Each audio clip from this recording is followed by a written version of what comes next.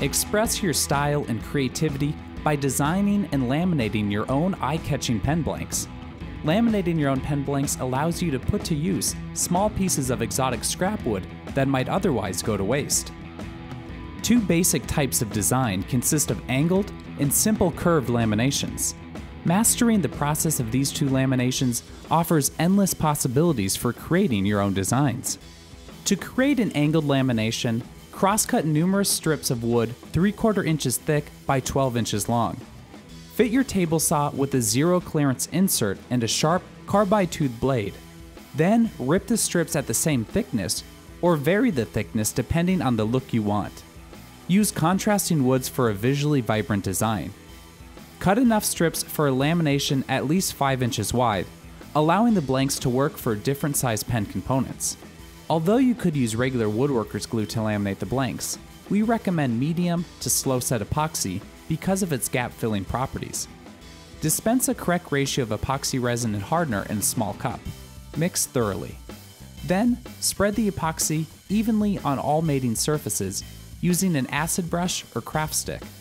An even application ensures that no weak spots or gaps exist.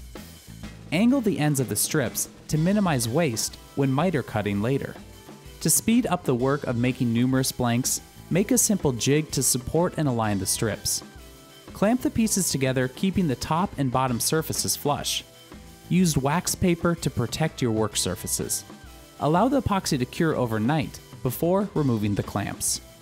Using a bandsaw, miter saw, or a sled at the table saw, crosscut 3 4 inch wide strips from the lamination at 45 degrees. Then, trim the ends of the laminated blanks square and to length.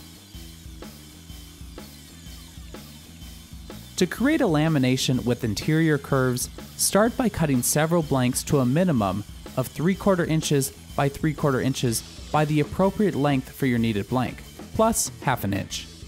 Use a French curve or other curved edge to mark a smooth, continuous curve on one surface of each blank. Or, if you have a steady hand, mark the curve freehand. Mark a curve on the adjacent surface. Bandsaw or scroll saw the curve to shape. Next, cut thin strips of wood about 1 16 inch thick by 3 4 inch wide by the length of a blank plus 1 inch.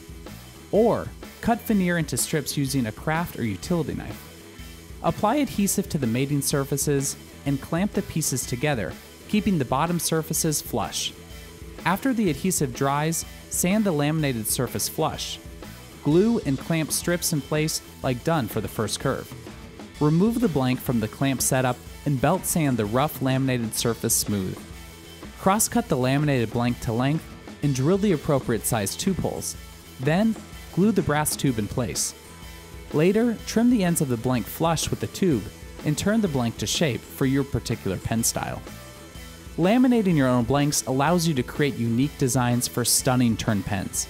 Try different combinations of woods and patterns to craft your own style.